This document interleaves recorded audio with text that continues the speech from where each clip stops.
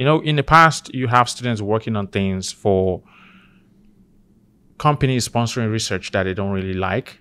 You know, maybe it's in a sector they don't like. Maybe it's a military company. Maybe it's an oil and gas company. Maybe you know, but if you're doing something related to healthcare and you're basically helping people, does that help you get out of bed faster, make you more motivated to work? Oh yes, yeah, absolutely. So Okay. you know, just for example, this problem for stroke rehabilitation, the hand orthosis, Uh-huh. is is is important. So just uh, we had, for example, when we test previously we test this hand exoskeleton device uh, tested on stroke patients. You know, we worked so hard to make this. It's, it was an innovative new product we proposed, and it was tested on a stroke subject.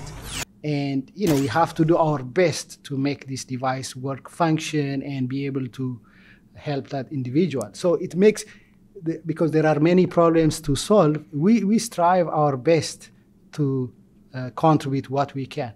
So let me explain briefly about what hand orthosis is. Okay. So this hand orthosis is uh, basically orthosis, orthotic device exists in the you know CVS and Walgreens and so on, but these are passive.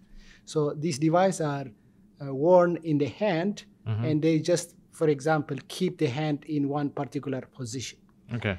But what we are working on is dynamic hand orthosis, which means that, let's say, if someone has a stroke, or then they lose the hand movement functionality.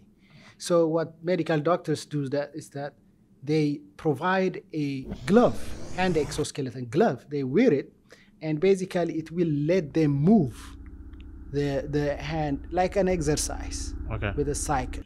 So that makes the connection, the lost connection, the brain connection with the hand, and they will gain ability again. Okay. So this uh, external device that is supplied for them to train the hand movement. Okay. So existing are very expensive in the market. Uh-huh. Some of them, some of them are not available as well.